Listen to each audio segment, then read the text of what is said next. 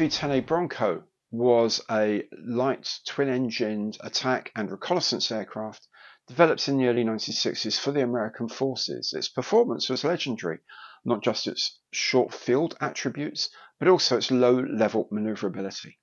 Find out more about this remarkable aircraft right here on Gary's Stuff.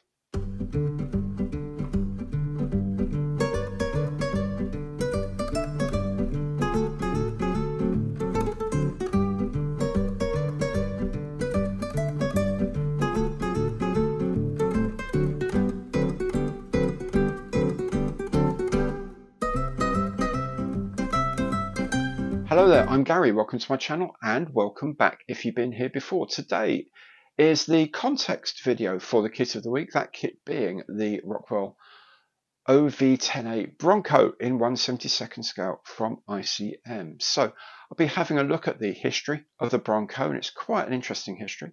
And I'll be having a look at what other kits of the Bronco are already available on the market. If you are thinking about buying one of these and want to know what's in the box, then there's already a box opening video available on my channel. And if you've got one, you would have been pretty sharp off the mark because they're only just going into stores now. But if you do, and you want to know how to put it together, then there is a build video imminently approaching the channel. How will you know when it's up there? Simple thing to do is to make sure you subscribe to the channel. You hit that bell and you'll be notified of all my future videos as they arrive on the channel. And of course, anything you see of mine that you like, please do remember, give it the imperial thumbs up on the like button below because every like counts. And if you'd like to offer a bit more concrete support, you can do that through Super Thanks by becoming a channel member or by using any of my online partner programs. And finally, I should say a very large thank you to ICM for sending me this kit. It's a free sample I must point out I'm not being paid for any particular opinions on that. They just send me the kit and say, give us your opinion. The opinion you'll see on this channel is honest and mine alone. Let's make a start then and look at the history of the OV10 Bronco.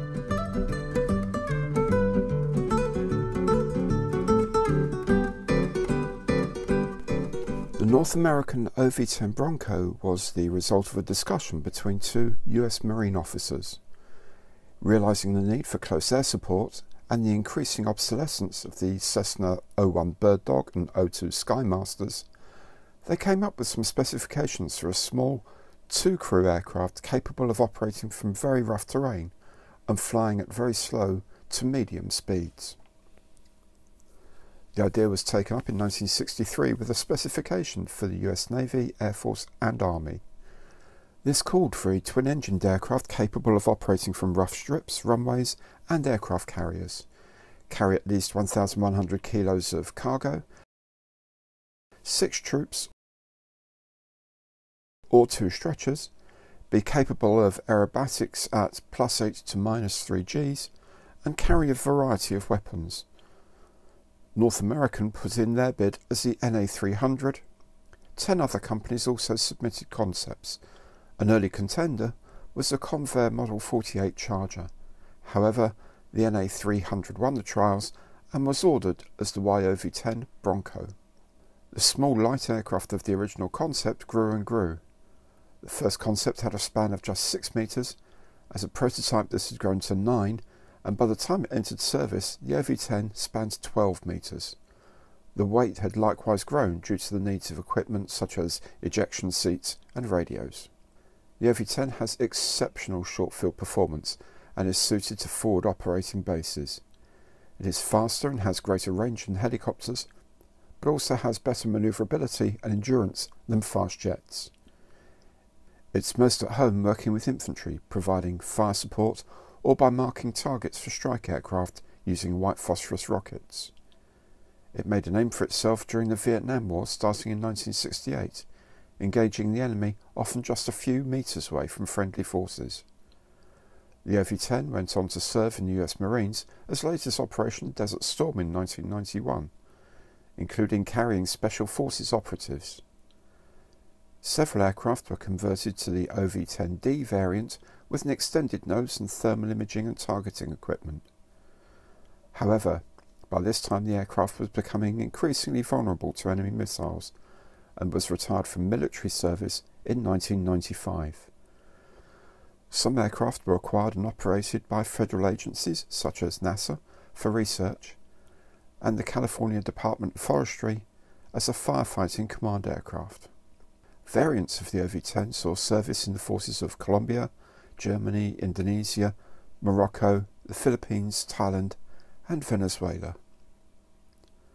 Of the 360 aircraft built, around 30 Broncos still survive in museums around the world, with a handful still in airworthy condition.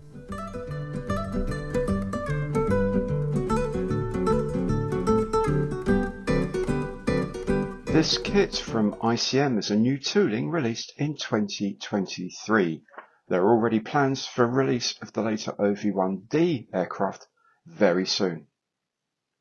The first kit available in 172nd scale was the Hasegawa release of 1968.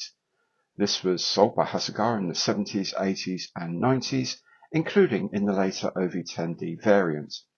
This tooling was also marketed by AMT and by Frog in 1969 and by Minicraft and Hales in the 1970s. Airfix released their kit of the Bronco in 172nd scale in 1969. This went through the usual set of re-releases in the following years, although the 1983 box featured the more recent OV-10D version. In 1984, MPC took this base kit and added a belly 20mm cannon turret as the YOV-10 Night Observation Gunship prototype. In 1970, Revell released a new tooled kit of the Bronco in 172nd scale. An interesting re-release of this is the OV-10B Bronco in German colours from 1983. The most recent release was in 1996 with an aircraft in Desert Storm colours. The Academy 172nd scale kit of the Bronco dates from a new tooling of 1999 with a late model OV-10D kit in 2002. The most recent release of this was in 2019. The kit has also been marketed under the Modelist brand in the early 2000s and under the Revell brand from 2018. On to other scales now, and Kitty Hawk created a kit of the late model OV-10D in 132nd scale in 2014, releasing it as the earlier A and C models in 2015. Hawk released its first kit of the Bronco in 1966 in 148th scale. It was re-released as a fully chromed kit in the following year, then as a regular kit again in 1969. The kit went on to be sold under the Testors brand in 1972 and in 1988, by Italeri in 1979, and by Chematic in 2010. ICM's own 148th scale Bronco first appeared in 2021 in the A model, followed later that year with the D Plus model. They were also sold in late US Marine Corps and in US Navy colours in 2022 and in airfield sets with crew figures plus either a Cessna Skymaster or a Bell AH-1G Cobra helicopter. Trident Miniatures released this resin kit in the curious 187th scale in 2010, and Hornet Mini Wings created this resin kit in 1 144th scale in the early 2000s. There we have it then. There's a reasonable amount of choice in kits, and the aircraft is quite astonishing. It's quite the legend, actually. Um, very, very maneuverable, in astonishing aer aerodynamics to get really short field performance, huge amounts of flaps and flaps that act as ailerons, flaperons, and all the rest of it, um, and really uh, chunky undercarriage, cleverly designed to absorb amazing amounts of shock. Really interesting aircraft. Um, hope you found the video interesting anyway. If you did, please remember, give the Imperial thumbs up on the like button below. And if you haven't done so yet, please do subscribe to the channel, hit the bell, and you'll be notified of all my future videos as they turn up, including the build video for this very kit. So thank you so much for watching, and I hope to see you again very soon. Take care now, and goodbye.